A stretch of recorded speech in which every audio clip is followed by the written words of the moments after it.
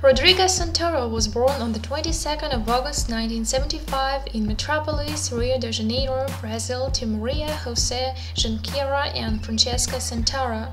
His father, Francesco, is an engineer and mother is an artist. The talented actor studied studying journalism at PUC Rio and then entered Oficina de Atores de Rede Globo for a year. Since his early childhood days, he was interested in acting and was fully supported by his parents in his decision. The proficient actor began to act in telenovelas like the miniseries Hilda Furacão and Alan Noolo. He was also the voice of Stuart Little.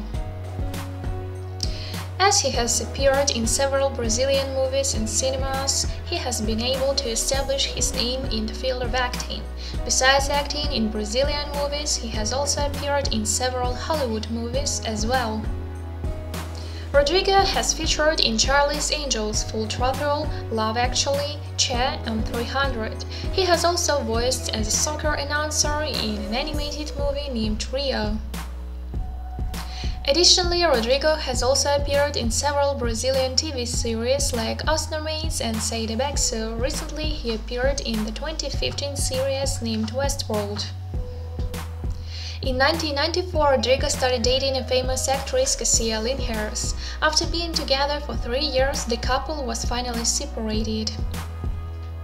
Then he began dating Luana Piovani. They were also seen together for three years. In 2001, Rodrigo started dating Fernanda Lima. They were also not seen together for so long. Then he began dating a famous model, Ellen Jabour.